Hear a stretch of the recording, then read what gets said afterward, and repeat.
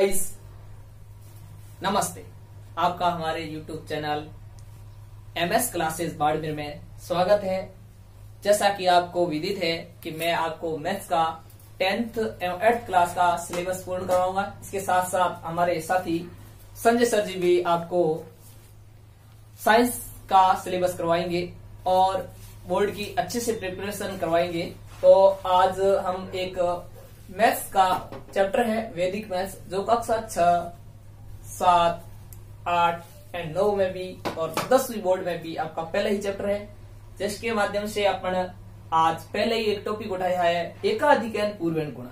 पहले बात इस चीज़ को समझना है कि एकाधिकन पूर्वेण द्वारा किन किन गुणों को अपन हल कर सकते हैं। इस प्रकार की प्रश्नों को हमेशा ये ध्यान रखना कि आप संख्याओं के दो पार्ट होंगे।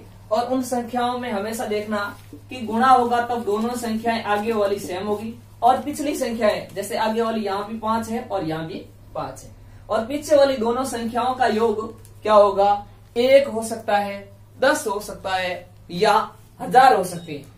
इस प्रकार की गुणों को हम एका अधिक पूर्वण, यानी पहले वाली संख्या को में एक अधिक करके उसका क्या करेंगे?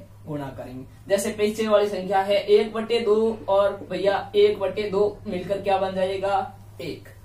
इसका मतलब इस प्रकार के प्रश्न आएँगे, उसमें ही हम एकाधिकरण पूर्वेण द्वारा मल्टीप्लाई कर सकते हैं। जैसा कि देखो, आप पाँच और पाँच सिमिलर है तो इन संख्याओं में पाँच के साथ आपका पाँच का एक अधिक करके, यानी ऊपर बिंदु, ये वैदिक गणित में से इस बिंदु को कहते हैं एका अधिकरण पहले वाली संख्या के ऊपर क्या कर देंगे हम? एक अधिक कर देंगे। जैसा कि पहली संख्या है फाइव इस फाइव में अपन एक क्या कर देंगे? अधिक सिक्स बना देंगे।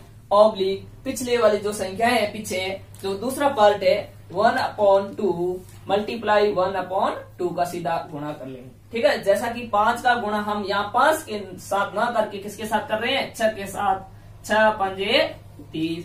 Oblique one upon two multiply one upon two हो जाएँगे वन अपॉन फोर तो अपना उत्तर हो जाएगा थर्टी सही वन अपॉन फोर। ये अपना क्या हो गया? उत्तर। हमेशा जिस प्रकार से जिस पोर्शन में अपना यदि भिन्न के रूप में आए तो उत्तर भी भिन्न के रूप में ही देना है। यदि इस प्रकार के प्रश्न दशमलव के रूप में आ जाए तो आपको उसका उत्तर दशमलव में ही देना है। देखो, आगे चलते हैं और एक उदाहरण और लेते हैं। समझते हैं?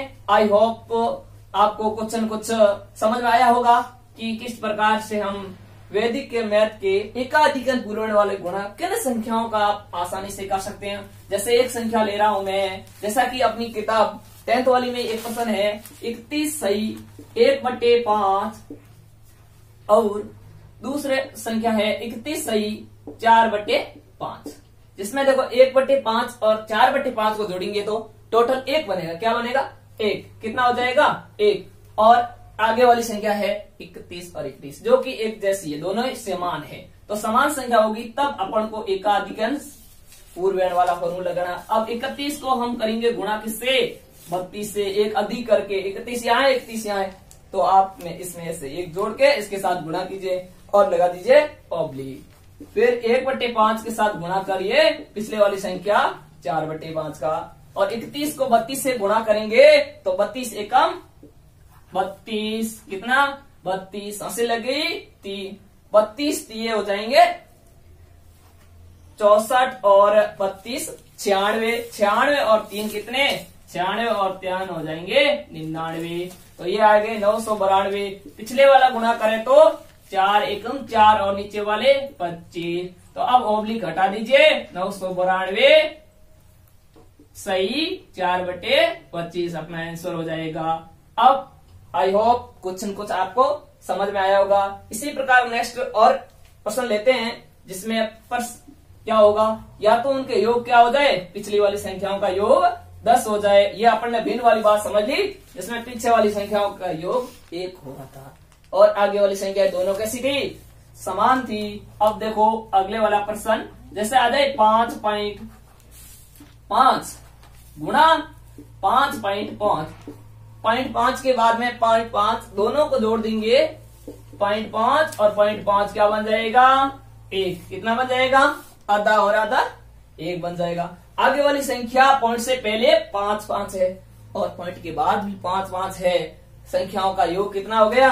एक। पीछे वाली और आगे वाली कैसी है? सिमिलर। तो आप आँख बंद करके भी कर सकते हैं। सीधा उचित द्विदिक विधियों से गुणा करें। इस प्रकार का प्रश्न आ जाए तो आप पाँच को इसमें हमेशा एकाधिक पूर्व लगाओगे, क्योंकि आगे वाली दोनों संख्याएँ समान है, और पिछली संख्याएँ कैसी है? योग करने पर क्या बन रहा है? एक तो ज़ीरो गुणा ज़ीरो पॉइंट पाँच गुणा ज़ीरो पॉइंट पाँच के साथ गुणा कर लीजिए। अब इधर तो पाँच का सस्य किया अच्छा पंजे तीस। पाँच का पाँच से गुणा किया तो दस मान लो दो पाँच हो जाएगा। कितना? आगे ज़ीरो भले ही लगा दीजिए। क्या हो गया? अब इसको ऑब्लिक हटा के आप क्या कर दोगे? तीस। ऑब्लिक हटा दीजिए, यहाँ ज़ीरो लगाओ तो मत लगाओ, यहाँ ज़ीरो नहीं लगाना है, सीधा दो पॉइंट पाँच। ज़ीरो पॉइंट पाँच का ज़ीरो पॉइंट पाँच के साथ, जैसा कि आप गुणा पहले भी में सीख चुके हैं कि दो पॉइंट के बाद एक एक अंक दोनों साइड है तो अपन को दो अंक छोड़ के पॉइंट लगाना और सीधा गुणा कर लेना पाँच को पाँच से क्या तो पच्चीस। तो अब इस प्रकार अपना उत्तर हो गया तीस दशमलव दो पाँच। अब आगे चलते हैं, इसके अनुसार दूसरा एक प्रश्न लेते हैं, जिसमें अपन को प्रश्न में योग, पिछले वाली संख्याओं का योग दस होगा। कितना होगा? दस। देखो, पिछले वाली संख्या जैसे दे दिया, तेरानवे इंटू एक सौ सात। कितना? एक सौ तिरानवे इंटू एक सौ सात। आगे वाली संख्या अभी सेम नहीं रही तो अपन यहाँ से अपन एक सौ तीन गुणा एक सौ सात कर ले। यहाँ तक दोनों संख्याएँ कैसी है? दस दस दोनों सेम है। पिछली संख्याओं दोनों का योग कितना बन रहा है? दस। क्या बन रहा है? दस। तो आइए चलते हैं। इस प्रकार का प्रश्न आ जाएगा। तो भी उसमें अपन क्या लगाएँगे? कौन सा नियम लगाएँगे? एकाधिक पूर्व मल्टीप्लाई का। दस को किससे गुणा करेंगे? दस के से एक अधिक, यानी ग्यारह का गुणा करेंगे। ऑब्लिक तीन के साथ किसका गुणा करोगे? सात का। लिख दीजिए एक सौ दस, ग्यारह का गुणा एक सौ दस, और सात ही इक्कीस। अब बहु आ रहा है वैसे वैसे। लिख दीजिए ग्यारह हज़ार। इक्कीस क्या आ जाएगा? इन दोनों की मल्टीप्लाई आई होप आपको कुछ समझ में आ रहा है। तो लाइक करके कमेंट करके बताइए। और वीडियो को अधिक से अधिक शेयर लाइक एवं चैनल को सब्सक्राइब ज़रूर करें। आप हमारे साथ बने रहें। हम और भी आपको इस तरह के वीडियो और टॉपिक करवाते रहेंगे और जय हिंद, जय भारत।